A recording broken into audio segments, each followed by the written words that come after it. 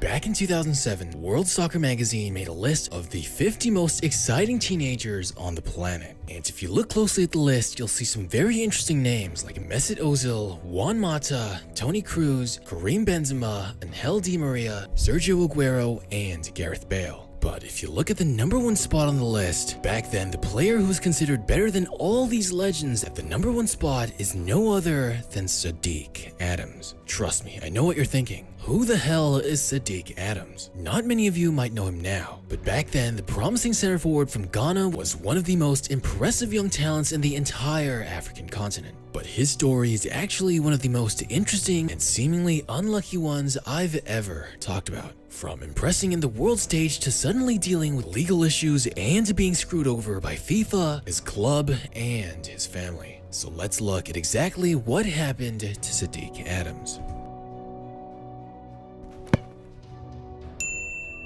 The South Korea 2007 FIFA Under-17 World Cup, Ghana would shock the world when they would knock out favorites Brazil in the round of 16 and almost narrowly beat Spain and Germany, resulting in a surprising fourth place finish for a team that everyone thought was relatively weak. And the reason for this was no other than their lightning fast center forward, Sadick Adams. Adams really shined in Ghana's U17 squad. His performances, especially against Spain, impressed even the managers and staff. After all, he was doing incredibly well, even compared to La Liga's best young prospects. Sadick possessed an incredible amount of speed, technique, and goal-scoring skill that would set him apart from his peers at a very young age. His talent was undeniable and it didn't take long for him to attract attention. And you have to understand, around the early 2000s, strong and physical strikers and forwards were very popular. You had guys like Ronaldo, Adriano, Van Nistelrooy, Drogba, and Ibrahimovic. And perhaps that's why he was ranked the number one most exciting footballer in the world back then. He even said himself, I couldn't believe I was chosen among the 50 most exciting in the world, which included some big names. My country even came fourth in the competition. But at that young age and fitting into that archetype of forward, Sadick's immense potential was recognized by scouts from top European clubs. Then one day, shortly after the tournament, out of nowhere, he gets a call from an unknown Spanish phone number, which turned out to be a representative from Atletico Madrid. Of course, the young Sadick had no idea just how serious they were about their interest, and still felt happy about the call but never expected too much out of it.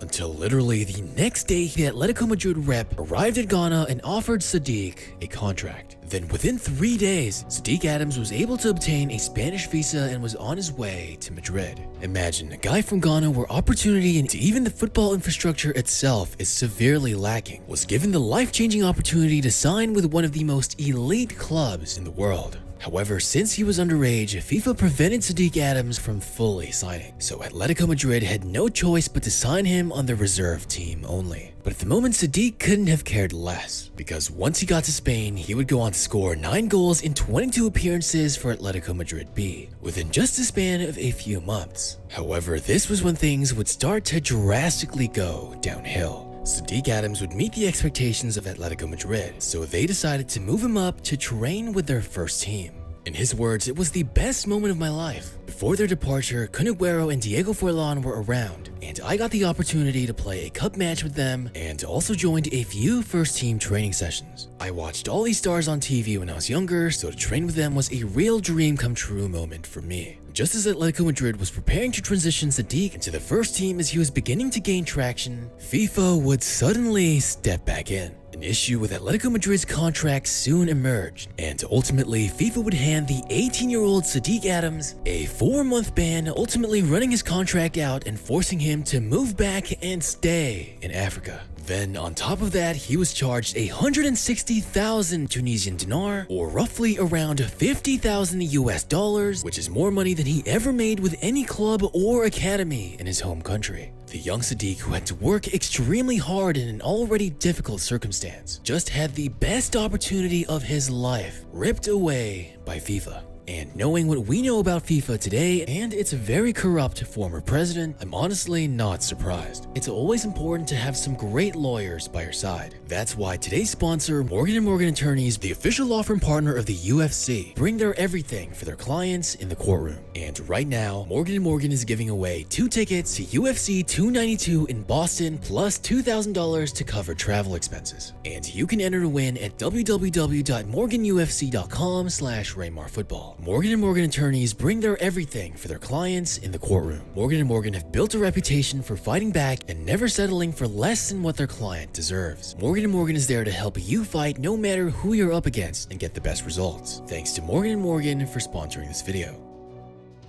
Ultimately, FIFA's decision was a devastating blow to the young Ghanaian's dreams and aspirations. But to find out just what exactly was so wrong with Sadick's contract, we'll have to go back just a few months before the U17 World Cup. As Sadick was on his way to the tournament without his knowledge, Sadick's father would sign a contract with Tunisian football club Etoile du Sahel. Because at the time, nobody could have really known that Sadick would get so much attention from the tournament. As he himself wasn't old enough to sign for the club, his parents had the legal authority to make the call. You also have to imagine the tough situation Sadick and his family were already in. They didn't have the opportunity or resources to financially support their son to the same capacity that most footballers growing up in Europe do. So if they were desperate to sign Sadick to a professional club. It might not exactly have been the right thing to do to sign without Sadick, but at the same time you can't fully blame them. So right after the U17 World Cup, when Atletico Madrid came to offer a contract to Sadick and his family, technically he was already signed with the Tunisian club.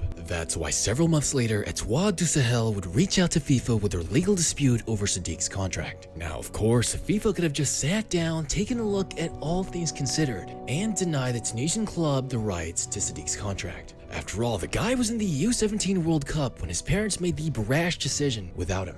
They could have given him a potentially generational changing opportunity and just keep letting him develop in one of La Liga's most elite clubs. But what did they decide to do? They decided to deny the chances to showcase Sadick's immense potential on the world stage. The ban imposed by FIFA restricted Sadick from competing in international competitions and prevented him from seizing opportunities that could have propelled his career to new heights. He had to leave Spain and go to Tunisia to play. But that's not all. Like I said, they also fined him $50,000. That was more money than his entire contract was worth for the Tunisian club. Yeah, that's right. FIFA really charged this already struggling Ghanaian kid the amount an average American would make in an entire year. And Sadick definitely did not have a first team contract with Atletico Madrid. He was on a temporary reserve contract that was so close to moving forward before everything went downhill. FIFA really let a Tunisian club take advantage of one of Africa's brightest young prospects without even paying him a decent wage. And after everything was said and done, Sadick was in his early 20s with no real experience as he had to play in a league that many had no respect for. And to make it worse, Sadick would try his luck in the Serbian league where, in his words, my experience in Serbia is the worst experience of my life. That is the worst decision of my career and I still regret it. I lived in hell because of racism. It was horrible to live this experience for a young African like me. It's not an excuse for me, but being black, being alone, and without a family in a foreign country is sometimes very difficult. A white man does not necessarily realize that next to him there is a black teammate who suffers. I thought I had to be strong to help my family, especially financially. But I was happy to leave Serbia. This decision to leave Eastern Europe would only put Sadick Adams further and further from the spotlight. And eventually, he would return to Ghana where he spent a majority of his career moving between leagues in Africa and Saudi Arabia. Sadick never quite managed to break into world-class talent after such major setbacks, both mentally and legally, into his career. They enjoy what they are doing, but we don't. There's so much pressure. So that's why I'm saying like they enjoy the game, but the pressure they put on us, we the Africans, that's uh, killing us. But now, at the later stages of his career, Sadick hopes to improve the conditions of Africa's leagues to give future generations a better opportunity and better standards and infrastructure. While his young career didn't turn out as successful and was unfortunately really screwed by FIFA, he still managed to play football all over the world and was always a high-level forward with speed, athleticism, and a powerful shot. Sadick's journey is a testament to the human spirit and the power to never give up. I really do wish the best for the guy and I think what he's doing now to try to advocate to improve Africa's leagues truly makes him a legend.